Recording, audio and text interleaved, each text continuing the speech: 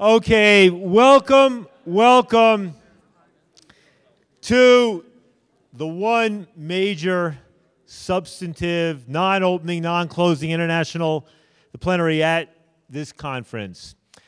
Um, so I'm going to ask all of the panelists to come and enter the stage right now.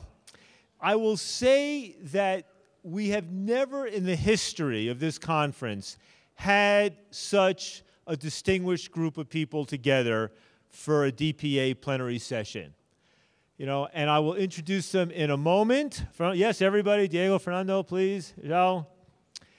And I will also open by uh, giving my apologies because some of the names I struggle with in terms of pronunciation.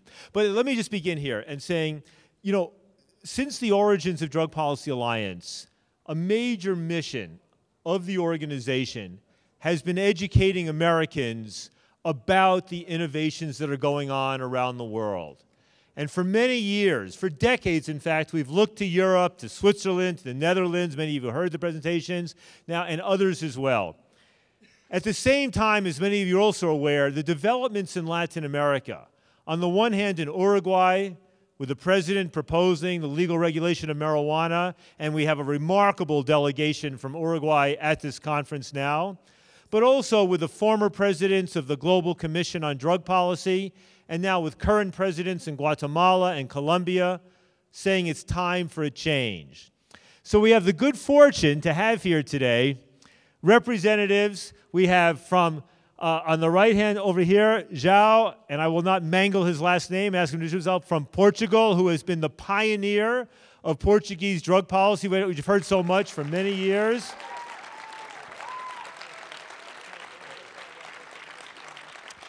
And then we have Diego Canepa, the president, Mujica Uruguay, his chief of staff, the key point person in Uruguay on these policies.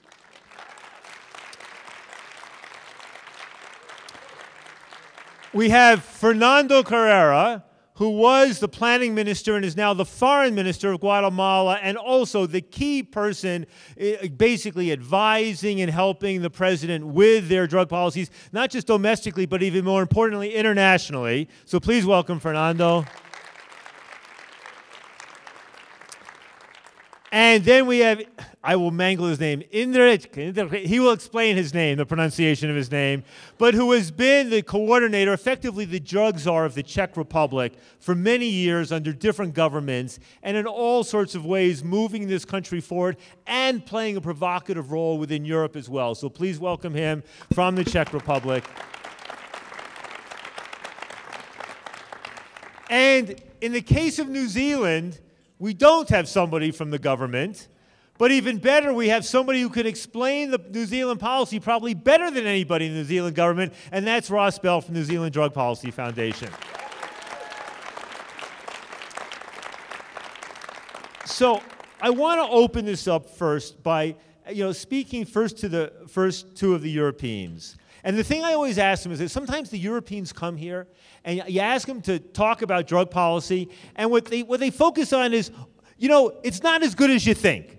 And, and in fact, there's problems. And we got our right wing government or this government that's in the way and preventing reform. And what they forget sometimes is how significant what's happening in Europe actually is relative to what we're dealing with in the United States. Right? So I want to turn first to our representative of the Czech Republic, ask him to pronounce his name for me again, and then just describe the, the Czech approach and also a little bit of an overview about where you see the most interesting developments in Europe. And then I'll turn to Joao. All right. H hello, everybody. So you can try to repeat my name in Drich. In Drich.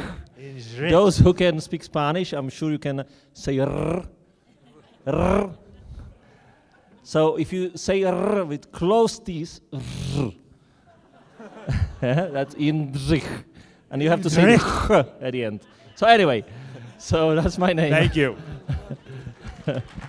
well, that's my first name, and then you have Vobořil, the other one. So, so anyway, so Czech Republic.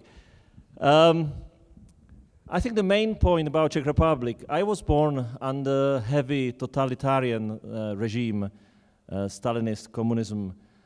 uh, which was there for more than 40 years.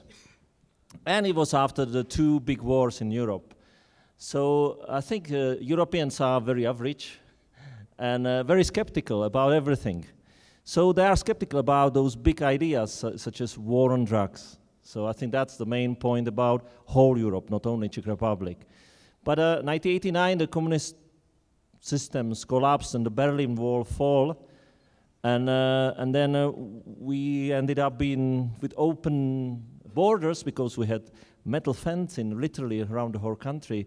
So uh, our drug scene at that time was uh, kitchen labs me uh, producing methamphetamine, uh, home-based, homemade, no money involved for two decades. Just people were demanding pleasure, so they were looking for drugs because the conventional drugs were not there. So they produced their own drugs. People planted marijuana in their gardens, and uh, that's how, how it went. At that time, during communist time, sorry, I'm, I do not want to be too long, it's just a short history. At that time, during communist time, uh, communists would say, well, we are in this paradise uh, uh, uh wealth country without capitalism, uh, and drugs and those things are implanted here by Western, Western secret services. So when the, when the wall fall and we realize we do have drug problem just hidden, uh, what do we do? Nobody thought of let's make a war on drugs. So let's make something sen sensible, uh, something that is not too expensive, because uh, you know uh, the time in 90s when America was building double of prison cells to incarcerate people for drug offenses, we're trying to cut the, the prison cells down because it's too expensive.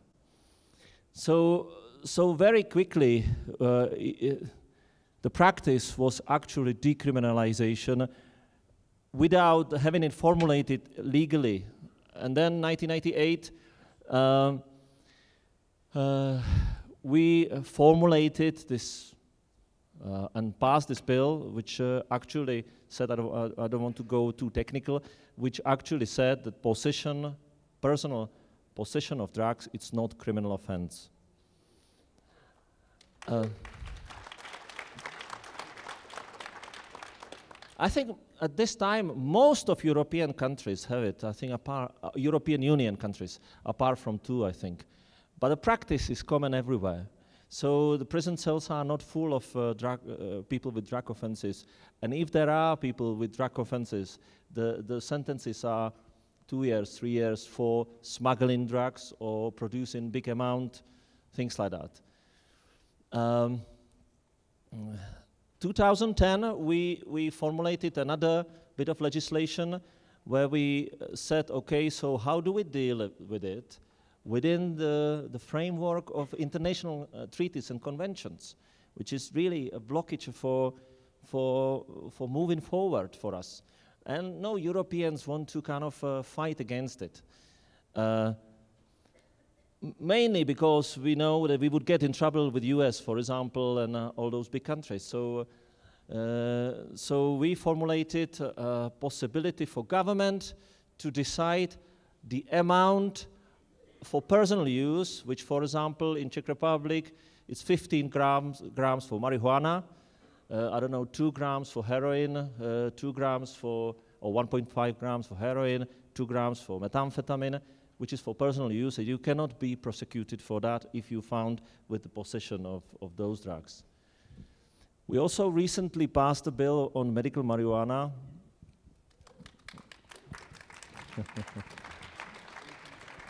I, sh I should tell you, I'm a member of Conservative Party. uh, all my predecessors were a member of, of, Conservative Party. Conservative Party in our country is so, something probably totally different to what I see in other parts of the world. because for us, it's personal freedom.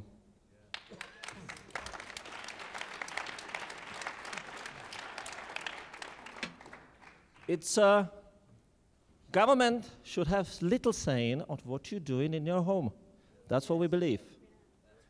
So that's why, that's why, for example, we have elections today and tomorrow, and the leader, lady, who is running for the prime minister on behalf of the Conservative Party. She was my MP. I was working with uh, on the bill for uh, medical marijuana, for example. So this is how, how, it's, how it's done in Czech Republic. I think uh, we, we talked about it bef before the, this, uh, this session. Uh, we are, uh, as I said, Europeans, we are very skeptical and we don't uh, fall for big ideas much. So if you ask Europeans, you would say, well, there is many problems and uh, we would like to go forward, but it's too much hassle. We are quite comfortable. For example, in Czech Republic, among injecting drug users, there is 0%, it's 0.1% of HIV positivity among injecting drug users. Because we introduce harm reduction across the whole country, in every single corner you find accessibility to harm reduction services. Maybe final, final idea about uh, Czech, uh, Czech policy, and this is how we believe it should go internationally. Uh, our main preamble in, in our national drug strategy is that reducing harms is, is the overall policy and overall philosophy. So harm reduction is not a type of service for us, but it's, it's an idea how to look at legislation, law enforcement, and the whole drugs policy. So I think that's, that's a very much Czech way of looking at things. Oh, Indrich, thank you. Let me now turn to João from Portugal, because you know, for many years, we first we looked at the Dutch, right? With uh, the, the Dutch coffee shop system emerging late 70s and the 80s, harm reduction emerging, especially in the Netherlands, even in the early 80s. Then it was the Swiss providing really international leadership on safe injection sites and on heroin maintenance, which have now spread. You now have heroin maintenance in Germany, in the Netherlands, and Switzerland, and Denmark, and the UK, a little experiment in Spain, a little something going on in Canada. In fact, I think there's a special session on that on Canada later. You know, and then Portugal, no heroin maintenance, no coffee shops, changed the policy in, I think, 2001, and almost nobody's really Portugal, you know. And then two, three years ago, these reports come out 10 years of Portuguese drug policy, of decriminalization in public health, and my God, things have worked well. So, Joe, tell us a little something about how that came about and how you feel. I mean, you've been the pioneer, and he actually will be receiving the uh, Norman Zinberg Award together with his institute on Saturday night. So, you know. But I'm honored to have you here. But tell us a little bit about that. Yeah. Okay. Thank you, Ethan. Hello, everybody. Um, well, the story of the drug use or the drug problems in Portugal uh, have, has some similarities with what happened in Czech Republic. Uh, as, you, as you know, we lived during uh, 50 years under a fascist regime. It ended with our Carnation Revolution, as you can remember. It happened in 74. Before the revolution, we had no problems with drugs. Uh, we had a very tough regime, uh, and uh, only some elites had uh, access uh, to, to some substances. Suddenly, everything changed with the, the end of our colonial war and the return of people, soldiers and settlers from Angola, Mozambique, and all, all that people who had some habits of using at least marijuana. They brought literally tons of it into, the, into Portugal, and it, it was a sudden spread of experimentation. Uh, and differently from what happened in other countries, and I think this is a key element to explain how things uh, uh, evolved later, uh, it spread over all social classes. It was not a problem of only of uh, disorganized people, but it the because it was easy uh, to shift along with marijuana, suddenly we had an invasion of heroin and uh, cocaine, everything. Uh, and as we were completely naive about, about drugs, I can tell it with my personal experience.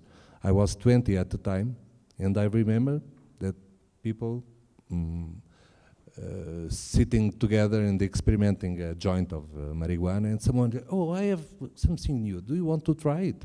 And it was heroin. Okay, and we were completely naive about that. We knew nothing about drugs. It was easy to shift from one to, to the other, and this led us in uh, one decade to an enormous spread of problems caused by heroin. Uh, in 10 years' time, we had 1% of our population hooked on heroin. We are around uh, 10 million, quite stable, and we had 100,000 problematic drug users of heroin, mainly injecting drug users. This, along with the beginning of the AIDS epidemic, uh, led to a dramatic situation. But as I told you before, it, was, it spread among all social classes, not only the most uh, disorganized or marginalized people, but also medium class, even high classes. And uh, the movement uh, of considering this is not a, a crime, this is uh, something, uh, th this is a health issue, started from the beginning. Because people, and it was almost impossible to find one single family in Portugal that had no problems with, uh, with, drugs. Uh, and people used to say, well, my, my, my son is not a criminal, he's someone who needs help. So uh, this led us to a position, even if, uh, accordingly with the, with the conventions, we criminalized drug use, uh, and drug possession, it was never uh, really prosecuted by, by, by the system. And it was quite, uh, quite, easy, quite easy by the end of the 90s to, including in a, a global strategy for drug use, uh, with the development of, of uh, all kinds of responses in terms of prevention, harm reduction, treatment, facilities, uh, reinsertion, and so on, it was quite easy to, uh, to present the proposal of decriminalizing drug use and drug and possession for use. So it was passed in the in the late. Well, the strategy was approved in '99, and the bill uh, on decriminalization was approved in 2000. Uh, what uh, it's important to say that uh, in the discussion of that issue, we had a very important personality that was uh, Jorge Sampaio, our former president of the Republic, who recently uh, joined the Global Commission. Uh, and is helping us very much to, to stand on what, what we got. in my view, this was important, uh, this decriminalization, because it, it, it is the, the, recognition that is, this is mainly a, a, health issue and provided us the, the, the possibility of spreading uh, a set of responses, uh, mainly in terms of harm reduction and treatment all over the, the country and uh, uh, allowed us to, to uh, decline all the, the uh, all the figures of the bad impacts of the drug use in, in the country. Just two words to, to tell you that we put using drugs is no more a criminal offense. Uh, but is still prohibited to use drugs in Portugal. So uh, we have a kind of administrative bodies that uh, evaluate drug users. If police get seizes, picks someone using drugs, uh, he presents him. Uh, these are what you these are what you call the dissuasion committees. Dissuasion committees. A wonderful name, the dissuasion, committees. Yes, uh, and the, the they can apply some penalties, but the main idea is to uh, evaluate the needs of that uh, that person. Is uh, the, the, the person I have in front of me a drug addict in need of any kind of help, and I help him finding the, the, the, the help he needs? Uh, it's uh, just occasional or recreational user. Um, I try to evaluate if there is any kind of uh, needs in terms of family situation, social situation that can be addressed and so I try to, uh, uh, to address that person to the adequate responses on society. And this, uh, this, system, this system has been very effective in identifying really uh, situations that along with drug use can lead people to problematic drug use. So it's a kind of a second line of preventive intervention. Uh, and is, it has, uh, now we have uh, 12 years of this system put in place, and we have a very good, uh, very good uh, evaluation of the what is happening there. So yeah, thank you. I, for those of you who want to read more, um, a few years ago, the Cato Institute put out a good report on this. It's actually by Glenn Greenwald, who has since become quite famous uh, in his work on the, on the Snowden, Snowden story and such. And that one mostly emphasized more of the decriminalization side and not so much the public health perspective. Then there's a fantastic article in the British Journal of Criminology a couple years ago by Alex Stevens and Caitlin Hughes, a very scholarly assessment that showed very good findings of this. And if you look outside on the table of the Open Society Foundations, you'll see summary booklets summarizing the Swiss and the Portuguese and the Czech and I think uh, Dutch drug policies, so you can find more about that. When I'm oftentimes asked, what's the real difference? I say in America, if you get stopped with drugs and don't have a big criminal record, maybe you get one or two chances, right, to get clean. And then, sorry, we got to put you in jail. In Portugal, you get one or two, and another, and another, and another, and another. There's a commitment to doing everything possible to not put people in jail for simple drug possession. And it's not about, you know, and as somebody, I think your colleague once explained, Nuno, that it, we don't, it's not that we send people to drug treatment we say go to the health clinic because many people struggling with addiction don't want to go to get treatment tomorrow or today, but everybody has a reason to go to a health clinic and that that can be a useful place to do this. Is that basically yes, correct? That, yeah. That's okay. it. That's it. Well, Thank you uh, for, yeah. for your help. Let, let me turn now because, you know, all of a sudden, out of the blue, you, all these Latin American ex presidents, current presidents are proposing a change in the regional, global debate, and I'll come to that in a moment. And then, almost out of the blue, in Uruguay, a little country of what, three or four million people, right? Between what? 3.3 million people between uh, Brazil and Argentina. You know, the president, Mujica, former Tupamaro guerrilla from the left, not the right in this case, says, let's talk about legalizing marijuana. And look a year and a half later, and this could actually happen. Diego, why did he do that? Why did he do that? Well, and what do you think is uh, going to happen yeah, next month? Thank you very much, Ethan. So, first of all, thank you for the invitation to be here in the in the state of Colorado and in Denver. Second, excuse my English. I not practiced my English for a long time, so I forgot some expression on words. I have my friend Fernando have an excellent English and translate to me and help to me about that. So first of all, I, I, I want to be here for several reasons, but one reason, and I start with that, is to say congratulations for the people of this state of Colorado and the city of Denver about you passed this referendum the last uh, month. That's great for us. Really was, uh, for us was a great news, uh, you know, because uh, the United States is not only an important country in the region of Latin America, it's around the world in this issue. But what happened in Uruguay is, is different. That's an, it's not related about the United States situation. What happened in Uruguay is, uh, is, is very complicated to explain because it's very simple. The president, uh, uh, of course, it's not, a, know, it's not one, one decision because we have a, a decision in the middle of a package of different policies. I'll try to explain you in five minutes. Uruguay is the first country that we passed a, a law uh, that we allow abortion in the country a few months ago. We allow the sex marriage uh, in the country. We are the second in the country in the region. We are the first country in the, in the region that we allow adoption of sex marriage couples. So we have this also in the country. So I know that we are always under the radar, and we love to be under the radar. That's a problem to us now that is a big delegation of Uruguayan here from the, our drug uh, commission and for a member of the parliament, the two key, the key guys that working very hard to pass this law, uh, Julio Bango and Tati Sabini. But a true story that we have a story of progressive society. It's not a, uh, it's possible because we have a story behind us that is to create this kind of change in the country. That's the first step. It's not an isolation idea of the president. Secondly, what happened?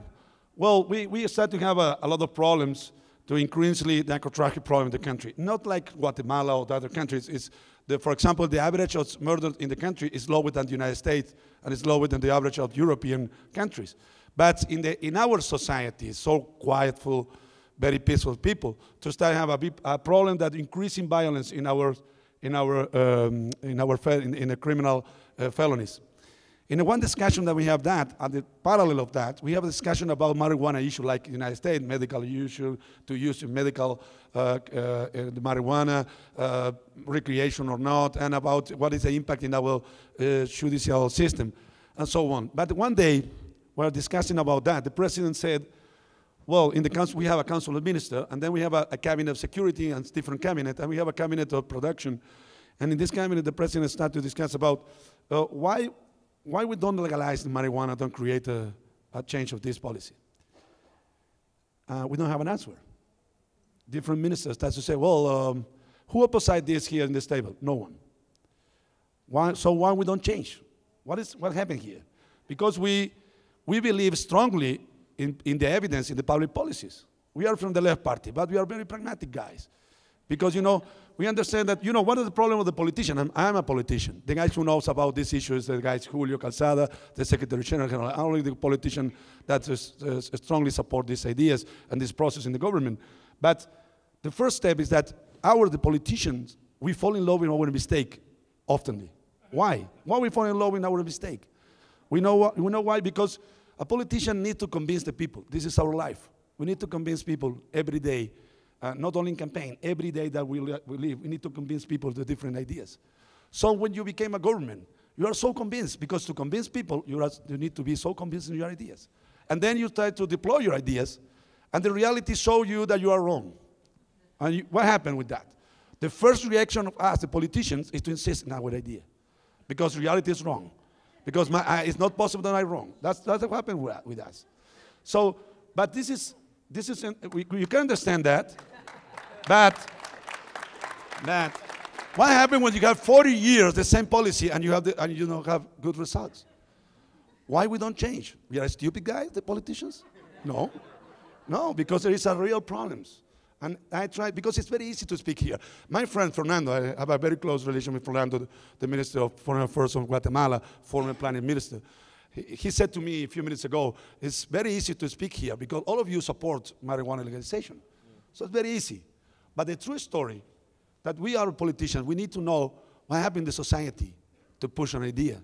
And the true story that 40 years of the same speech in the society, in the whole region, in the media, in the political discussion, in institutions, in a, a lot of uh, advertising doing that, create a unique vision about this, uh, this problem. So at the beginning, we said to the president, okay, we all agree with that, so do it. That's the President Mujica, it's a very particular guy. So you really mean, so open mind. And he said that, okay, if this is don't show us result, we need to change, so change. That's so simple. And we start to change. We start to create the condition to send a bill to the parliament. But at the beginnings have a lot of problems. Don't believe that this is a dream. Only said, you know, a paradise story. No, we have a lot of problems at the beginning. Political problem. We have conservative. Of course, not like the conservative in Czech Republic, but but people tend to go against that because the majority of the population in the in the first polls say that they are against to change the policy. 60% of the population. So there is a lot of political politicians that say, okay, time more opportunity.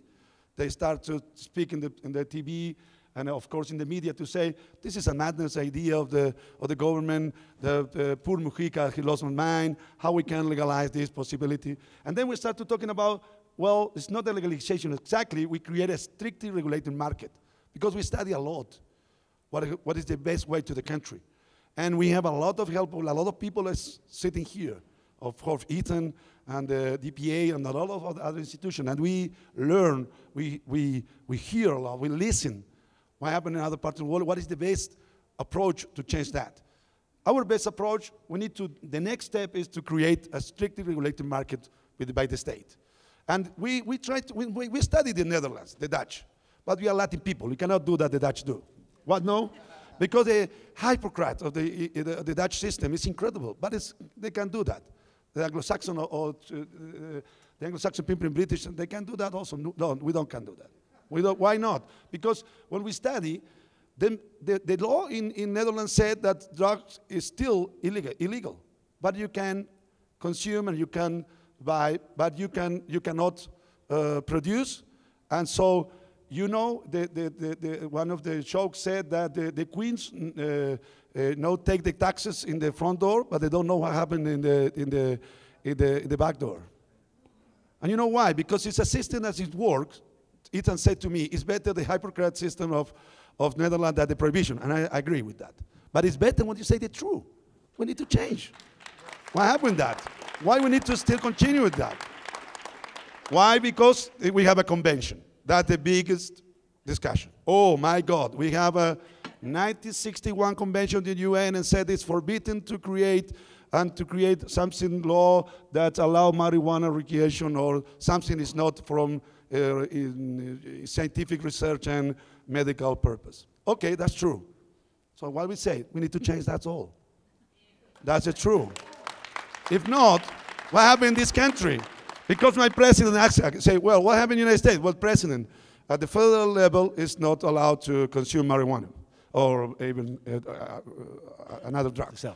And said, okay, but why I, I read that you have some uh, state that have marijuana? No, well, President, there are 18 states with medical marijuana. And what it means? Well, you use when you have a medical problem. Okay, but then when you have a report from Oregon from California that you can use your, your, your you can buy marijuana only with a, a lot of excuse. The president said, I don't like to lie. uh, I don't like to lie. We, why we need to create a, a liar system? Uh, we need to speak with the truth with the people.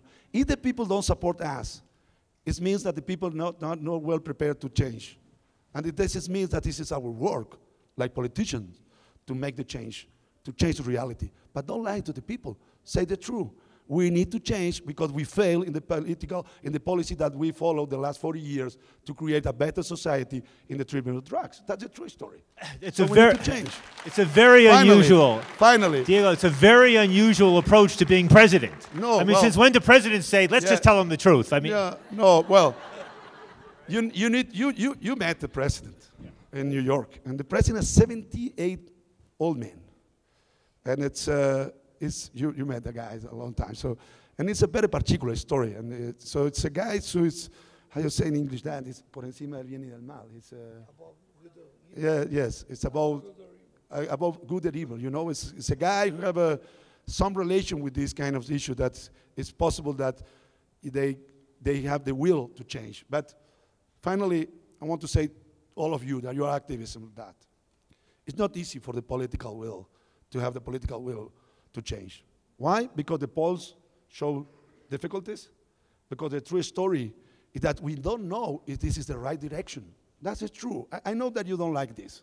But when you ask to us and say, well, this new law, because in our law, we create a strictly regulated market, but we legalize the production, we, we regulate the production, the, the, the harvest, the commercialization, the, the point of, of, of sale, how, how, the household, how, how, many plants you have in your house, how many, the, how many people, how you have your clubs, and also how is you, the, the, the, you regulate the market. But the, what is the question here for the, the, problem? You must understand that the first step is political will. It's not enough. But the true story, when you tell you, oh, well, I, we agree with you, we want to do what we cannot do, it's bullshit. Uh, sorry, my English is bad, but I know that it's bullshit very clear. Uh, uh, Perfect. The truth is that if you want to change, if you, if you say that you want to change and you act in consequence, you're still beginning to change. So this is the first step. So I, I think that in Uruguay, what happened? Well, we have a, a president that's so different. Mujica is the key player in this change.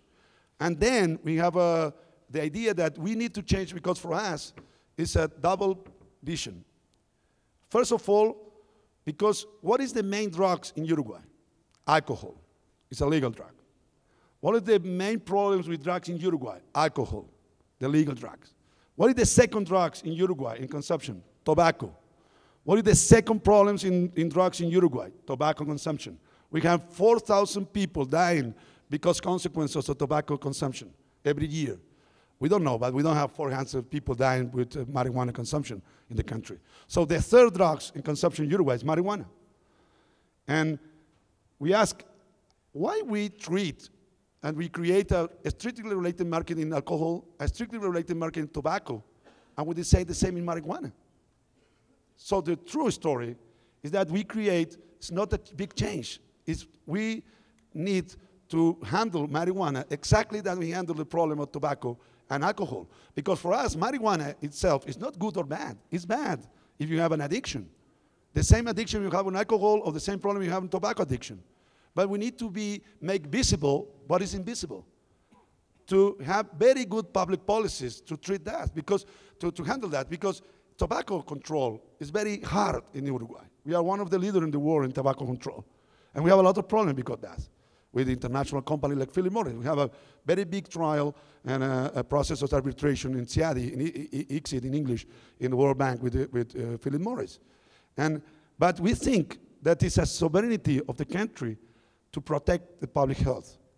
And for us, public health is above the drug uh, conventions. And this is most important for us. Thank you. Yeah, thank you. Thank you.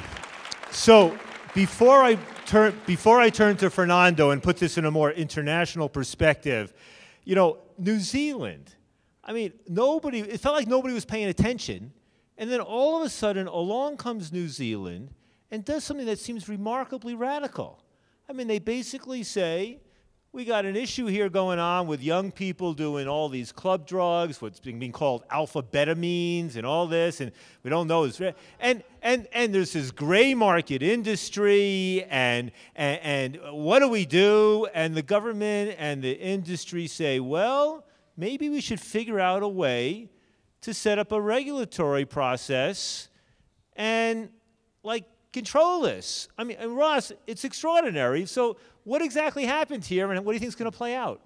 Well, can I, th- thanks, Ethan. Can I first um, acknowledge the First Nations people who have traditionally occupied this land? Um, Thank you.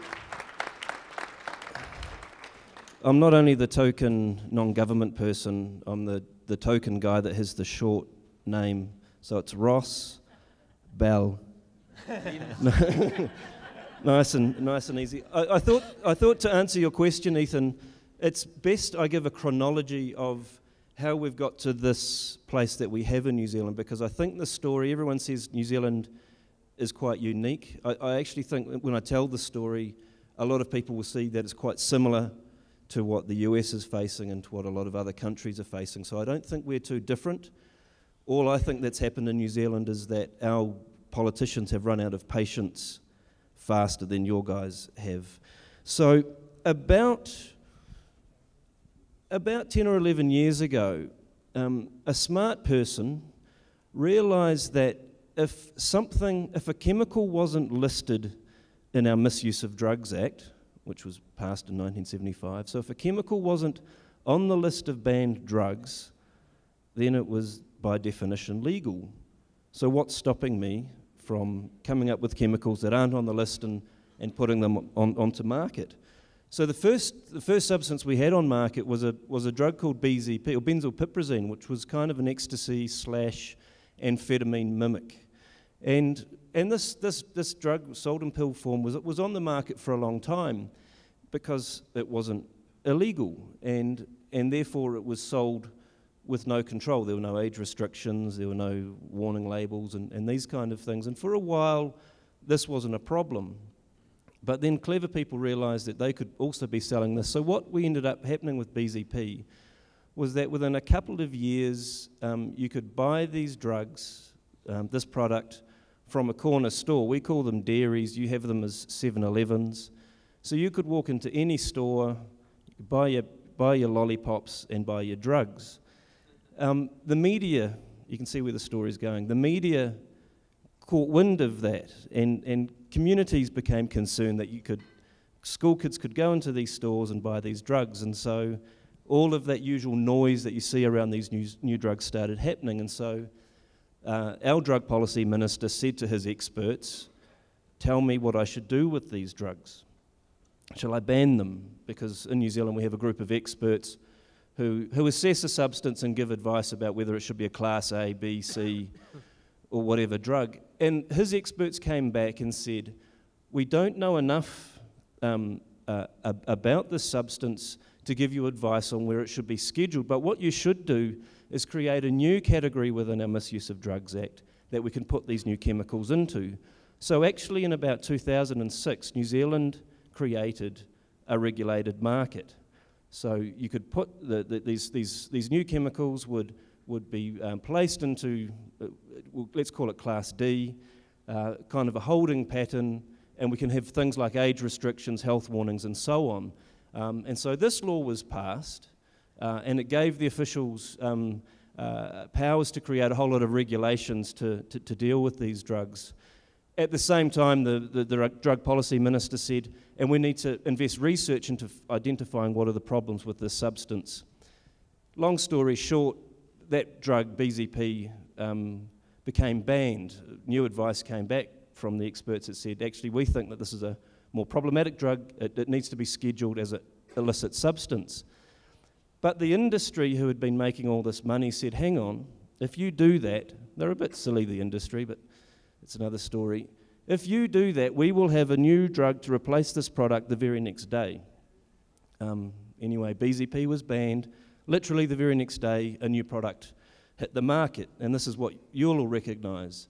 So that drug was banned and a new product hit the market, and so on and so on. Synthetic cannabis came along. We banned some products, and new products came onto the market. And so the drug policy minister got a bit sick of that and said, We need to review this thing. Let's review our whole drug law. So a group of independent experts came, conducted a review, came back and said, We need to fix up this regulated market. So what we now have, um, what we've just passed in, in, in August after all of this work, is a law it's a, it's a new act, it doesn't sit in the Misuse of Drugs Act. It's a new law that says to the industry um, the, the, the burden is on you. If you can develop a product, prove to us that it's low risk, and here's various hoops you'll have to jump through to do that. We will let you sell these products, but we will sell it under very tight controls, the same kind of controls we have around um, alcohol and, and tobacco. So that law was passed um, uh, a few months ago. It took effect a few months ago, and it was passed in Parliament by 120 votes to one. So, so you think, oh, okay, so we've got a whole lot of political consensus here. So anyway, we are, we are the first country to try to regulate all of these new, these new chemicals that are coming along. The drugs themselves, I think, are going to be a little bit dull. You have to remember New Zealand's far away. We're a small country. We're not a big market for drugs like cocaine and, and heroin. So we have, you know, we have these things instead. So the drugs themselves that they're going to come up with aren't going to be that great. Um, but, but, what, but what this thing has enabled us to do is it, it, it very quickly highlights the, the glaring failure of prohibition. Because what we've found is that you can't just ban something because the, the clever people in the industry can, can cook something new up. And so it's kind of fast tracked the kind of debates that we need to have around what should a reform system look like. So I think that's the value of the New Zealand model, is that it's allowed us to have a conversation about, well, prohibition ain't cutting it, what's the alternative? Hey, Ross, thank you. Um,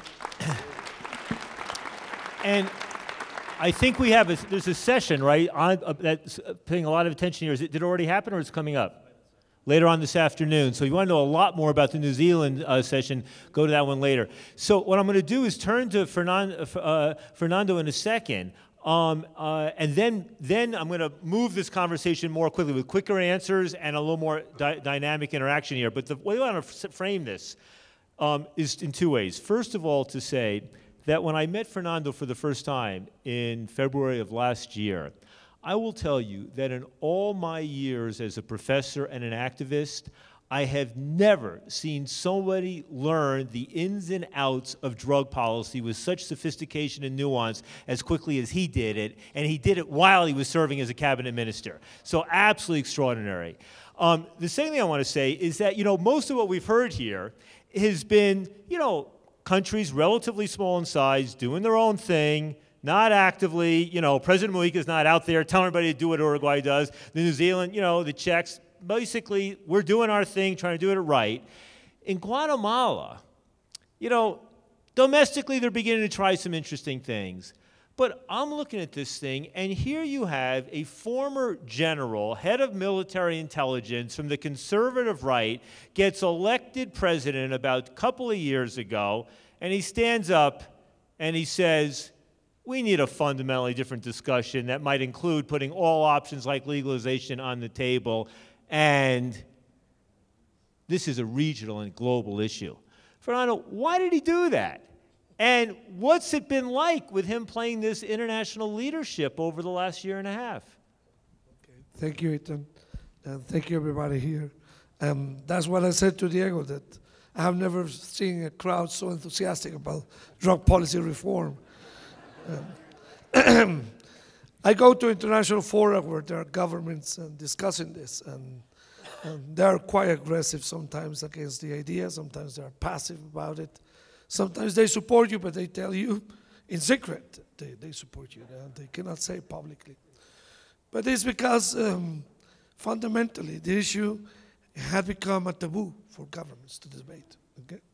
And the most important thing with President Otto Perez is that he decided he had to break that taboo. Okay? And the taboo is that governments cannot debate drug policy. That's the taboo. You people, activists, civil society, whatever you want to call yourselves, you can discuss that. Academics can do that, you know. Uh, people who have no governmental responsibilities. But those who have governmental responsibilities cannot debate drug policy. Okay? They just need to apply the formula that exists for the last 60 years and is about prohibition and the war on drugs. Okay? And if you want to break that, it's because you are completely crazy. Okay? It's absolutely crazy. Okay? Because that's what you do when you are part of civil society, you are academic, but not when you are a responsible government. Okay? Um, why President Otto Perez decided to open his mouth on this, being a sitting president, not a former president. Uh, uh, we have a visit a few weeks ago from president, former President Samper from Colombia. And he said to President Otto Perez that the best thing in the world that can happen to a person is being a former president. It's a great thing. You have all the protocol that is given to presidents, you have all the relevant importance that is given to presidents, but you don't need to sign anything and you don't need to say anything really substantive.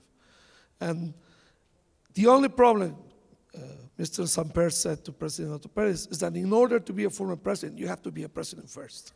So that's the only real problem with that. Okay? So he said, well, resist as you are a president because then next you're going to have a nice life as a former president. Okay? But anyway, why being a sitting president he decides to say something? Because yes, he was a Guatemalan army general and he was the head of intelligence of the army 20 years ago. And when he was there, he had a strange opportunity of doing something unusual. He found in Guatemalan territory a guy who was a very important uh, drug dealer called Chapo Guzman. Okay? And he found Chapo Guzman, and he said, Well, we found the guy, incredibly, but we did. He communicated this to the US and the Mexican government, and all of a sudden we have done something tremendous. And he imagined that by doing that, he had done, I mean, he had completely uh, won the war on drugs, okay?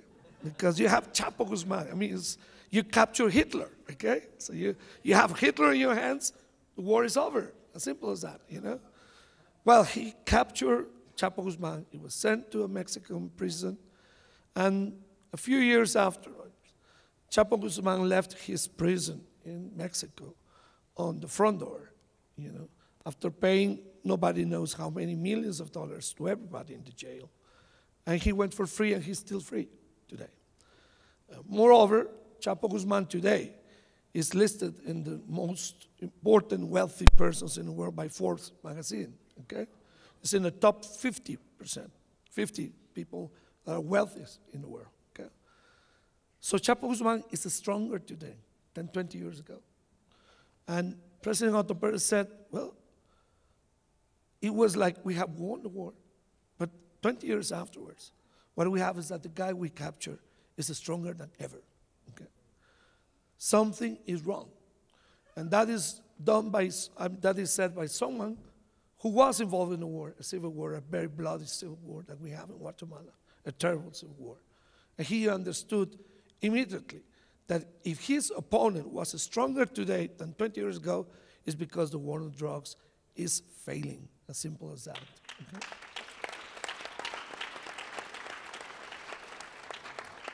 Well, realizing that was good. Saying that in public was something different, okay? Uh, because that has been said by many people, to tell you the truth. This President Otto Perez was not the first one to say it, okay? He was the first sitting president to say it, but not the first one to say it. So he said that in public, and all of a sudden everybody started to ask him why he meant, what he meant by that, okay? And he started to tell this story about Chapo Guzman all the time, you know. Um, Diego was saying, yes, politicians tell stories so that people understand things, okay? They are not experts or university professors or anything. They just need to tell stories, like, Jesus, Jesus did in his time, you know? Tell the story to people so that people understand what's going on, okay? So he told the story of Chapo Guzman several times. I heard him. And I, I was the Secretary of Planning in the Ministry of Planning in Guatemala economic planning, so I'm an economist by training, nothing to do with. Unfortunately, he said, fortunately, in my opinion. But anyway, I'm an economist by training. So I turned to him and I said, I worked 14 years in the United Nations system, and I can tell you something. If you want to change the drug policy paradigm that exists today, it will take you ages to do that, okay? It will take you ages. And I gave you an example. The Convention on the Rights of the Child, a very well recognized convention in the human rights world. Took 14 years to negotiate at the UN. And it created a consensus among more than 150 countries. So the most consensual convention on human rights has taken 14 years to be approved of the UN. So reforming the system may take, I don't know, no less than 10 years to 15 years, maybe 20 years. Okay? So why are you doing this, President? You have four years as president and that's it. And he said, Well, I guess someone has to start with this. Okay? As simple as that. Okay. I told him something else. I told him the story of the peace process of Central America. Um, the peace process in Central America started really in, in a big uh, fashion when the presidents of Central America agreed in 1986 and 1987 that we have to have peace in Central America, which, which is what is a process that is called in Central America the Esquipulas process. But the peace accords in Guatemala were signed 10 years afterwards, in 1996. And I told him, you see, you can be the first one to be at the Esquipulas, but you are not going to be the one that is going to sign the end of the war on drugs. Okay? And he said to me, well, I signed the peace accords of Guatemala. I can start, you know, a process of peace in a different way now. Okay? And I'm not willing to be the one to sign this time. I can just start and wait for the movement of the world to come. Okay?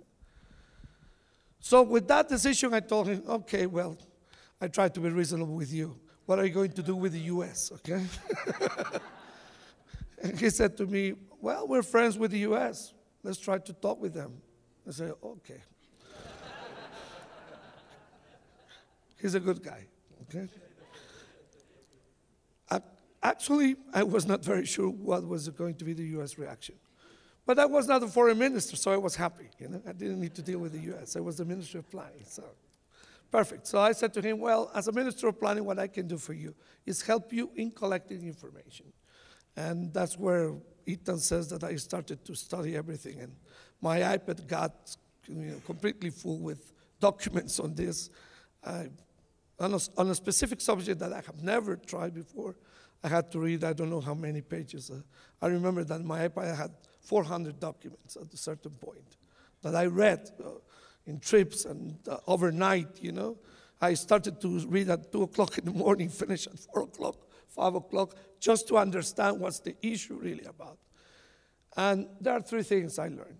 And these are the only three things, more or less, we know about this. Okay? One is that in order to prevent people from consuming something, you don't prohibit the consumption. Okay? If you want to prevent people from consuming something, either you put a lot of taxes so it becomes so expensive that it's difficult to buy, or you alert people through education, or you do both things, you know. But you alert people about education. You tell them tobacco is bad because it's going to produce cancer, okay? And you create a whole legislation that regulates that. But you don't prohibit tobacco. Okay? And you do not allow tobacco to be sold legally because you believe tobacco is good for human health. You don't do that. You know it produces cancer. But we do it because if we prohibit tobacco, then we create, that's the second lesson learned, an illegal market.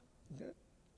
And when you create an illegal market, you create a black market, you create a mafia that is going to run that illegal market. Problem in Guatemala is not that we have a large market of marijuana and a large market of, consum- of consuming cocaine.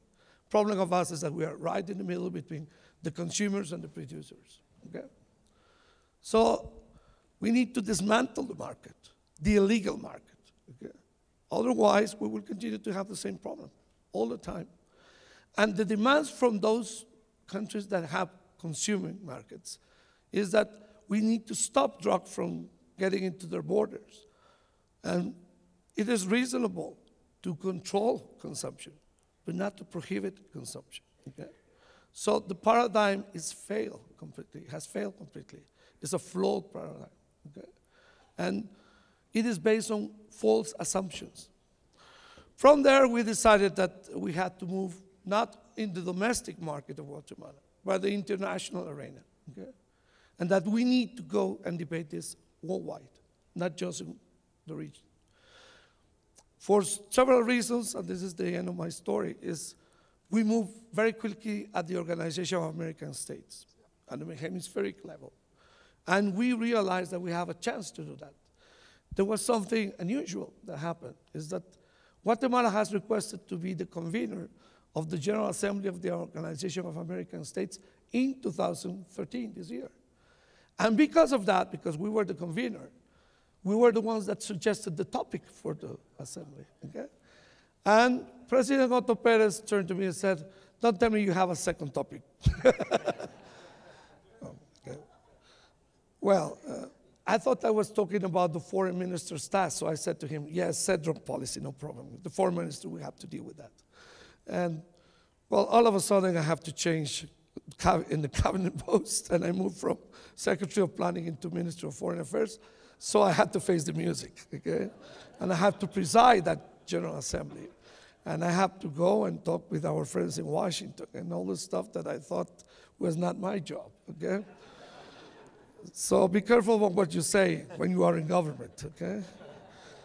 Whenever you reach government, yes, it's, it's, you may say many things when you're a free person, but when you're in government, yeah, as, as a former minister of the United States said, you are locked in the cabinet, okay?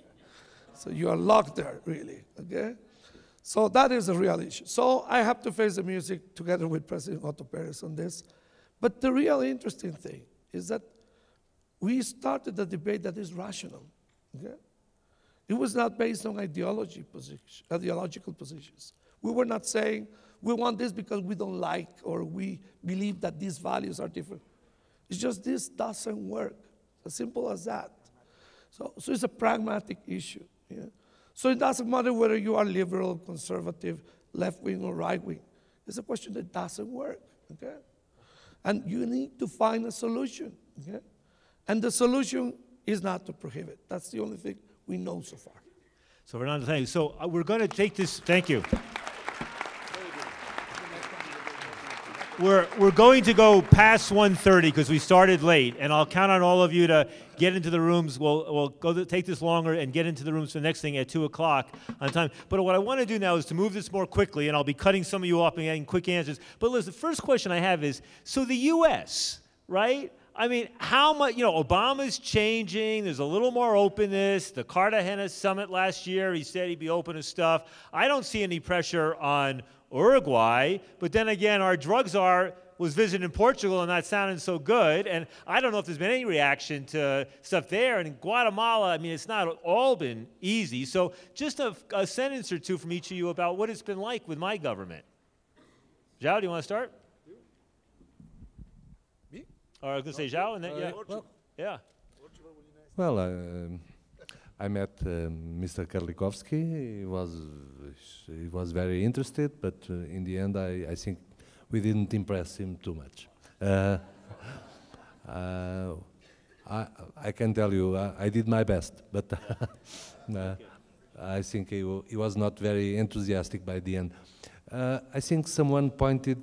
Uh, there are still some, some people in Portugal that opposes our policies, and uh, he went first to talk to that people. Uh, then he came to me, and he was quite skeptical. But uh, in fact, I have no Yeah. No So idea they're of just the- help. Yeah. Yeah. And Diego, in, in, in Uruguay, uh, no pressure, right? Well, you know, we, we, we are lucky because Montevideo is the fastest capital to Washington is in Latin America. So we are the farthest, yes. And we are out of the radar of the United States for a long time. God bless us for a long time about that. And it's very important. But the true story that we have conversation with the United States, the United States government about this issue, not only at the level of the Department of State with the guys who is running the, the, the drug policy, we talked directly with the member of the White House and they asked us about their try to be involved to more information about what happened in Uruguay. And we thought we have a very good relation. We are the left party in the government, uh, left party, and but we have a good relation with the United States. And I think that, and I cannot open speech here because it's a public, uh, uh, because we have responsibility in our government, some conversation that we have, but uh, it's important to say that. This is all off the record. No, no. Yeah, I'm No, no, I know, no, it's off the, record. no, no. But I can send you, I can send you this message. I think that the people in Washington know that it's changing so fast, the society in the United States. They are not stupid. Don't, don't think that Washington is stupid. They are the people that are intelligent. That's, they, they need to manage different approach and different interests. But they know that the, change, the time is changing.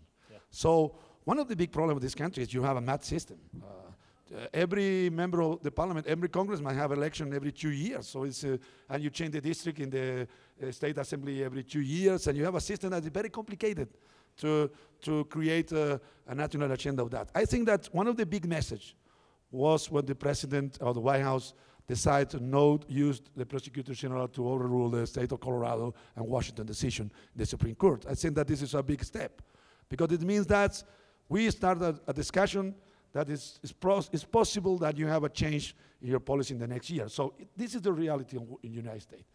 So it's, it's, I think that is the problem is that the United States is not the big problem in this, pro, in this issue. Mm-hmm. Uh, if you don't want, I think that the position of China and Russia is the problem Yeah. at, Yeah. at international level. No, not the a- so let me, and Fernando, w- in Guatemala, not much of a problem with the U.S., right? Or a little, or? I think it's completely different because we are very close to the U.S. okay, but there are th- several things. One is that the U.S. government, as any government, has many faces. It's not just one face, okay, and one speech or one discourse, okay. In any government, uh, they finally reach a consensus about something, particularly about important issues. But I would say that in drug policy, you have diverse versions within the US government. And within the US State Department, different versions. In the Pentagon, there's another story. Kerlikowske in the White House has another story. And, and you need to manage that diversity of opinions and, and try to make a sense of what, what is possible within those differences that exist. But it wasn't that easy at the beginning. Um, Guatemala receives more or less once in a while some important senior people from the US, but uh, in less than three months, we receive uh, the head of the uh, home, home, um, Napolitano from Homeland yeah, uh, that's a Homeland Security, Napolitano. We had Kerlikowske, which was the nicest, I guess. Uh, we had also the head of INL, of course. At the State Department's Narcotics Division. Yes, and, and we have Joe Biden, the vice president in Central America. Okay, so so much attention in such a little time was due to something. Okay, um, but what was important, and, and this is what has to happen, because Guatemala is not and is not uh, interested on becoming an, an opponent of U.S. policy in general terms. We are a friend of U.S. policy in many dimensions and in many areas. And this has been an issue for many, many years. It's not that we started with that with President Otto Perez.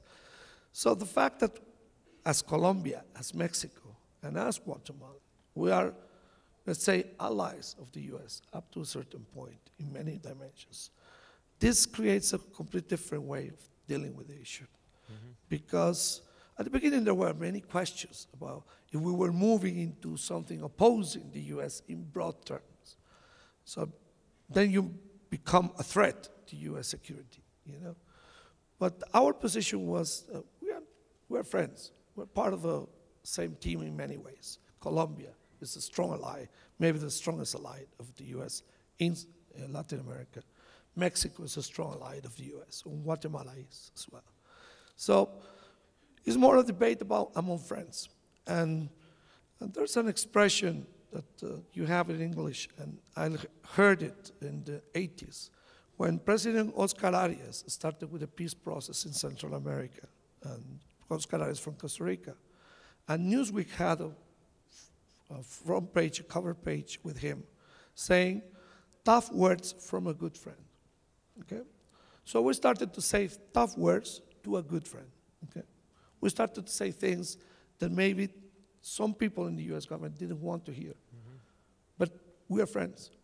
So it's tough words from a good friend. And I think with that approach, that we're saying something tough, but not from an aggressive position, not as a security threat, that create a whole difference. Well, and now for- we have a dialogue. Okay, well, let me ask you, and I'll I'll turn to interest on this, which is that, so this issue of the international conventions, right, and the single convention, all this, and there's a lot of perspectives on this, right? Some will say ignore it to some extent. I mean, when Switzerland and other European countries moved forward with safe injection and heroin maintenance, and they received letters from the International Narcotics Control Board, and they basically, the governments responded, you have your lawyers at the UN, we have ours. Huh. Other people say, you know, there's actually a lot of flexibility within the conventions. But then I hear some of you talking about we need to change the conventions, right? Now, you know, I mean, I mean, you know, Mujica, President Mujica is not out there publicly, but you said the convention may need to change. You know, Otto Perez, what he's talking about, ultimately convention, and you know, and Jindřich, you've played a role, I think, in, in the European circles in being a sort of provocateur on some of these fronts. So why don't you just answer about what you think is going to happen or what can happen with these conventions? Well, um I would like to hand my cards to my colleagues, politicians. Are you a consultant? No, no, I'm national uh, drug coordinator, which is uh, the drug czar, as you call it here in Czech Republic. So um, in Czech Republic is a highly political role. Uh, so why don't we meet up in Prague with uh, our prime minister and, I uh, Prague. And um, uh, the ministers, Minister of Foreign Affairs and discuss the issue of what do we do for next CND meeting in March in, uh, uh, in uh, Vienna.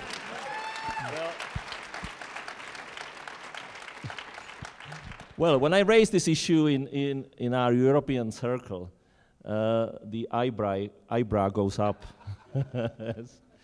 Isn't that right, Joe? But uh, uh, I believe strongly it is a time to start pushing it. I spoke uh, recently informally to, to the officials from the US side. And uh, we decided to start an official debate on at least amendment of single conventions. Single convention. Because I said, come on, guys, it's time for you to walk out of the battlefield with the head up. Isn't that right? So, uh, and they said, yes, we like the idea, let's do it. I suspect it's because they want to control the situation, but I think it's better to pull those people in because uh, I think at this moment, as you said, the biggest opposition at the end of the day is not going to be US, it's going to be China, it's going to be Russia. So, and I think it, this, this part of the world is in, in, t- in, in the area of public health extremely dangerous. We have today uh, about 2 million people in, in uh, Russia injecting drug users, 1.2 1.5 millions HIV positive. WHO, the, the World Health Organization, says today the biggest threat in HIV epidemics is in Russia among injecting drug users, following Ukraine, 700,000 uh, HIV positive among injecting drug users. We have to change this. These people travel the whole planet. They go and buy houses and parts of towns in Europe, in Spain, Portugal, I believe, in Czech Republic. Uh, in Czech Republic, we are very proud of having uh, uh, the policy so so uh, um, successful that there is no HIV among among injecting drug uh, drug users.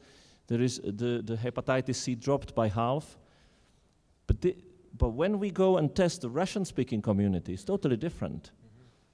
So I think, come on, this is a this is a But, but you know, what you're suggesting is with the Russians and the Chinese and others who are forceful, is there really a capacity? I mean, the, the, what, what one would hope for would be a sort of alliance among the more forward-thinking Latin American governments, right? You now have Santos in Colombia, you have Otto Perez, you have Uruguay. Hopefully, in Chile, with the new election, there'll be somebody sympathetic there. Maybe Costa Rica, a few others. Then in Europe, right? You have a whole, you know, from Portugal to Switzerland, maybe Denmark, maybe the Poles are moving along, the Italians. Is there actually some I effort believe, to create a, believe, I believe, even though the, the people in European uh, Union don't, don't see it yet, I believe uh, we'll pull, pull them all in one united voice at the end. uh-huh. which end? Which, which? Which end? You mean the end of this year or in the end uh, a I hope generation? the, the end of this year for the CND 2014. Uh-huh. The end of civilization. Yeah, in yeah. the end of Yeah. civilization. And, and Ross, New Zealand, has there been anything in terms of international pressure, negative reaction, or is it positive interest, or anything along those lines? Nothing from the US because they're still pissed at us for the nuclear ship ban. Um, but absolutely internationally, and I think that this is, you know, while the, these new substances aren't, you know, so awesome, they, they do highlight the need for reform. And so we've had Fedotov at the, the head of uh, United Nations Office on Drugs and Crime talk about the New Zealand model in very favourable terms. Um, at the Commission on Narcotic Drugs, countries have passed resolutions saying, with all of these new substances that are a big challenge uh, to, to all countries, we need to look at alternatives to the to the rate. It wasn't. I'm paraphrasing. You know, we need to look at alternatives to prohibition using consumer protection law or medicines law or or regulations like New Zealand. And so I think the, the these the, the, these new substances have highlighted that the whack-a-mole approach to drug control isn't working. And so I think it, it is it is getting countries thinking about having to do uh, new things. I think one of the challenges, though, and it might be a, a, a risk that's not a, actually a problem, one of the things in the New Zealand model is that we're going to know a whole lot more about the substances. Before they go on the market, the industry has to, to, to present a whole lot of information.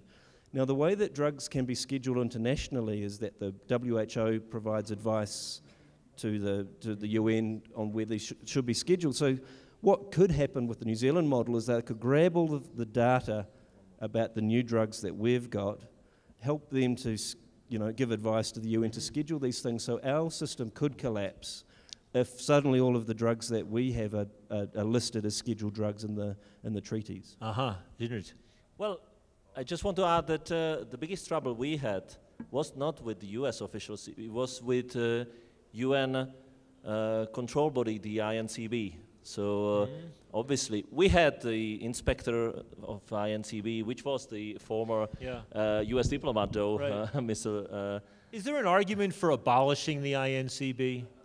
no, uh, I think the INCB should be That, by the way, you know, the INCB, for those you know, is the International Narcotics Control Board, and it's especially the, the, the organization that sees itself as the watchdogs of the International Convention.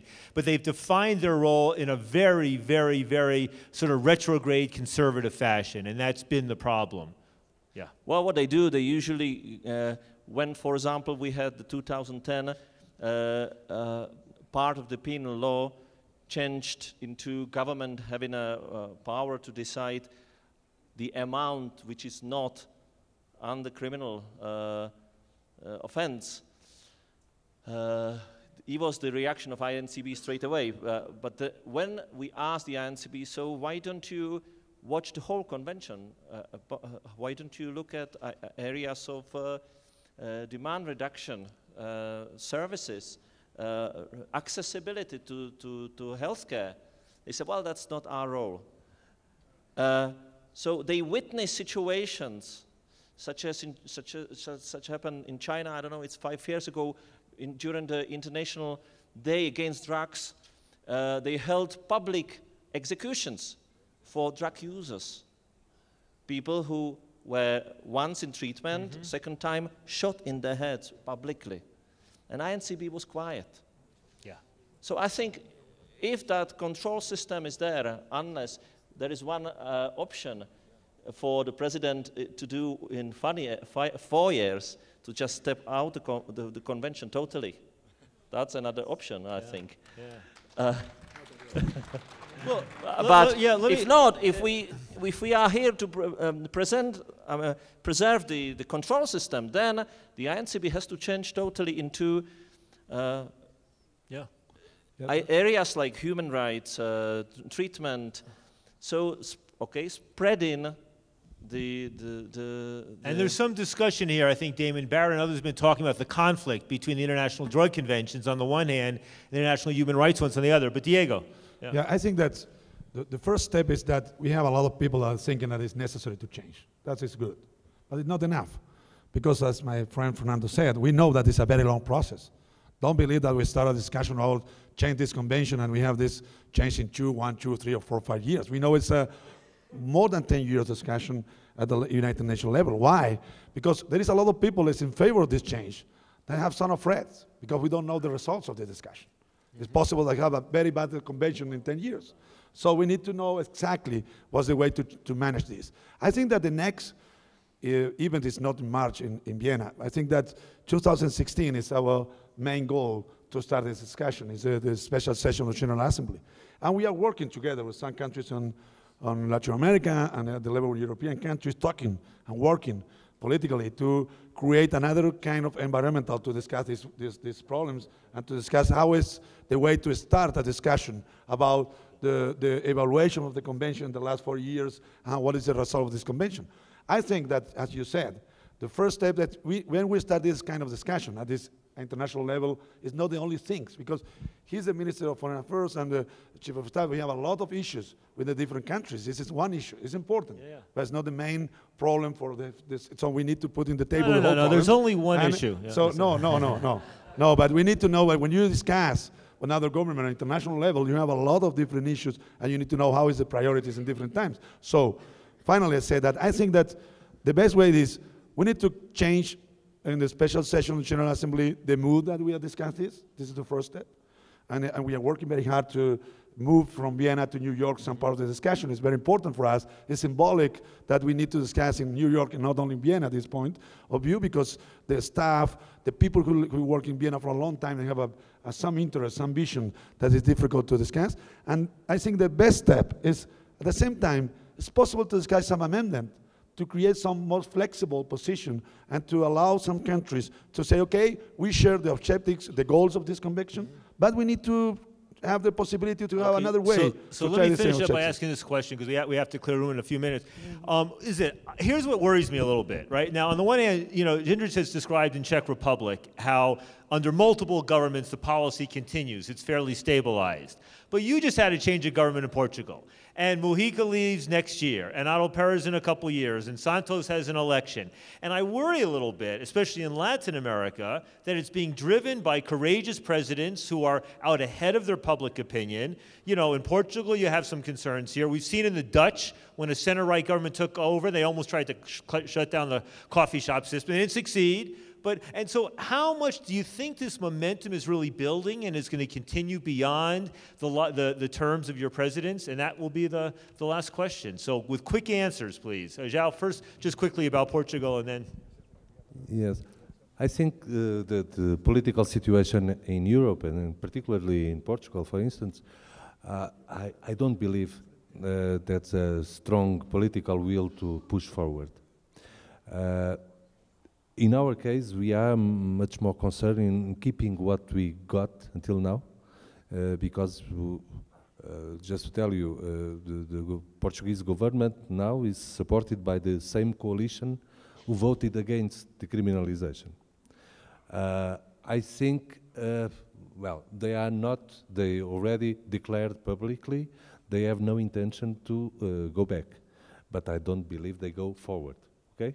So our, our role in this moment is to step on what we got. Uh, and I, I, I believe uh, most of the European countries are facing the same kind of situation. They have other kind of concerns, the, the financial crisis, the social crisis, and the, the, the drugs uh, question is not uh, an issue now.